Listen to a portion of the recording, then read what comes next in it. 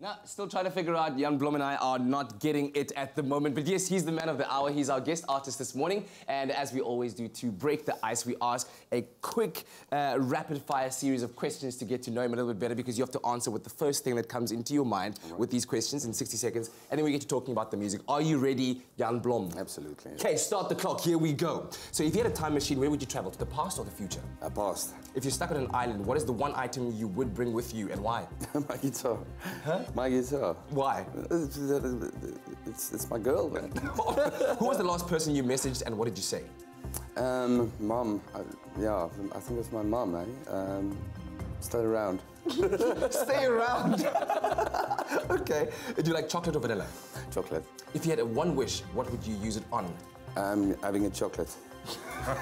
Summer or winter? Summer or winter? Summer boy, yeah. Your toilet roll over or under? Under. If you're not a musician, what would you be? Um, most probably a, a roadie. A roadie? Yeah. Favorite karaoke song? Um, uh, touching you, touching me. Movies or books? books. Who was the last person you said I love you to? Uh, touching you, touching me. it doesn't even make sense. Absolutely. What not. do you mean? Jan Blohm, it's great to have you here. Thanks, Finally, brother. I was talking to you earlier on, and I, wanted to say that like, I'm sorry we're only getting you onto the show now. Yeah. You, you're one of the, the, the, greatest out there doing it. Ah, thank you. Um, but it's good to have you here, though it thank is so our first time. Um, so tell me about the, the, music industry and how it's treated you uh, over the years. I mean, you've produced countless award-winning albums. Um, how hard would you say it's been to remain relevant in the music industry over the past years that you've been in it? Um, I think I can. I mean, there, there's so many clever answers, to, you know, to that, to that, yeah. um, to that question. But I think the the space where I'm in at now, yeah. um, I think I think it's not so much as uh, being relevant as being honest.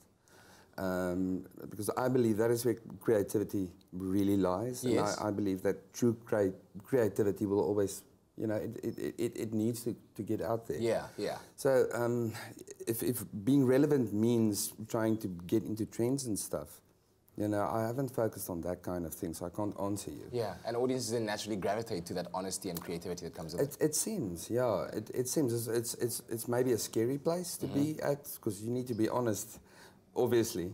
But um, with, with honesty comes a certain kind of creativity that yeah. I, I don't know. It's, it's just always worked for me. Has that changed for you over the years? Did, did, it start out differently, and then as the times evolved, you found that in order to satisfy yourself as a creative and as an artist, you need to drift towards that honesty space and writing and making music for that space? I think I think that's that's one of the the simple truths. Um, one of the, the, simple truths that I realized yeah. um, was that how, how simple it is actually um, to be, you know, just to kind of be without judgment about what you're making. Yeah. You know, to kind of just get out of the way and let it.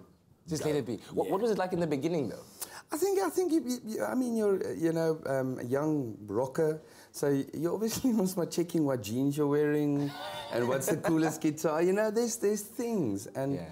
I don't know. Um, you know, after a certain while in the in the industry, yeah. you see, it doesn't matter. It's about that connection you have with people. Absolutely. And what happens in that connection, and and what what stuff means to me, and stuff means to yeah. to people out there. So the Love album, that's a pretty. I mean, if you're talking about honesty, creativity, or connection with people, the Love album is as mm. deep a title as you can come up with. So tell me about the Love album. That's it's, your latest one. Yeah, it's it's most probably one of the things I'll never completely understand, but one of the things in life that fascinates me. Okay. Um, absolutely, it's it's this concept of love and what what what it means to different people, mm.